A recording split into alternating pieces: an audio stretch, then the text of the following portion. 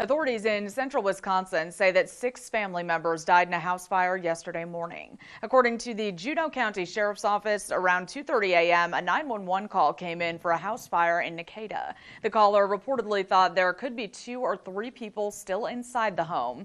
When responders arrived, they learned there were in fact six people unaccounted for, three adults and three juveniles. Fire crews battled the fire for an estimated three hours and were at the scene for over 12 hours. But authorities say the six family members died from that fire. It does appear to be accidental in nature, but the investigation is ongoing.